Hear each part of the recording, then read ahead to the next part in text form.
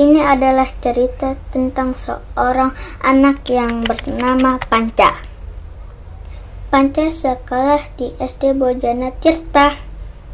Umurnya 8 tahun.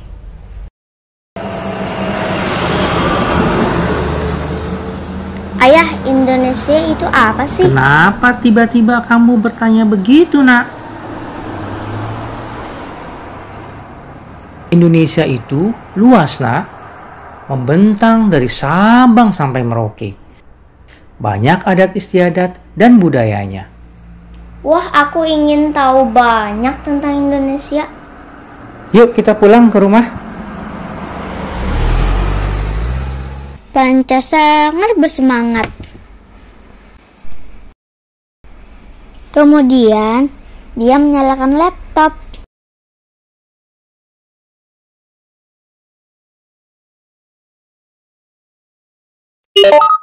Dan muncullah teman-teman baru Panca dari berbagai daerah.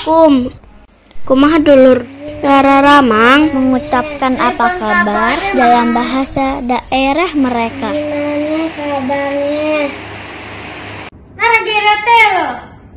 Lalu ia pergi ke ruang baca di rumahnya.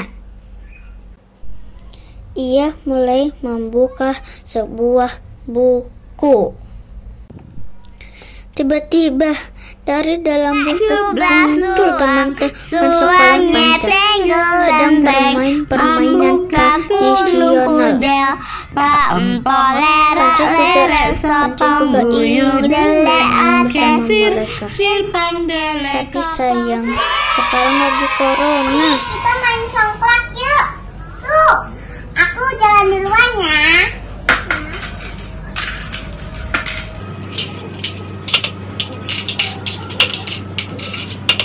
Om Pimpa Alayung Gambreng Akan jaga. Empat Lima Udah belum? Caca ketahuan Panca merasa lapar. Ia pun pergi ke meja makan. Saat mulai menyendokkan nasi ke mulutnya, Panca teringat sesuatu saat istirahat di, Suka di pempek. kelas tadi. Makanan suka soto. Betawi, Soto Betawi. Dan Aldrik suka sate Madura. Hmm, dan enak. aku Sate Madura. rendang. Bismillah. Biarpun kita berbeda-beda kita tetap belajar dan bermain bareng. Lagi ah Panca kelelahan. Akhirnya, ia pun tertidur. Di dalam tidurnya, Panca bermimpi bertemu dengan anak-anak hebat Nusantara. Pandai membacakan puisi. teruntuk Indonesiaku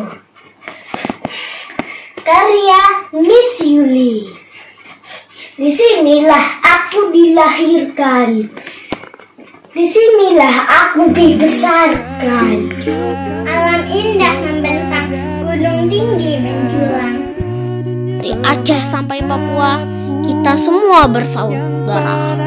Hatiku hanya ada satu nama Indonesia tercinta Oh, Indonesiaku, aku bangga kepadamu. Aku berjanji untuk terus menjagamu.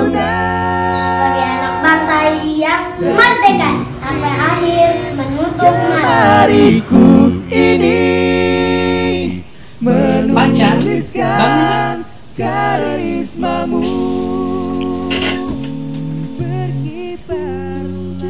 Ah, Wah Indonesia itu keren ya ayah Betul sekali. Nah, tugas kita menjaga persatuan Indonesia. Karena apa? Bineka Tunggal Ika. Bineka Tunggal Ika Tama-tama Tidak ada alasan untuk tidak mencintai Indonesia. Walaupun kami berbeda-beda, tetapi kami tetap Gunakan kewajiban Dirgahayu Indonesia. Prabangsa yang mengemban cinta. Hidup dalam kesatuan. 17 Agustus tahun 45 Itulah hari kemerdekaan kita. Hari merdeka Nusa dan bangsa.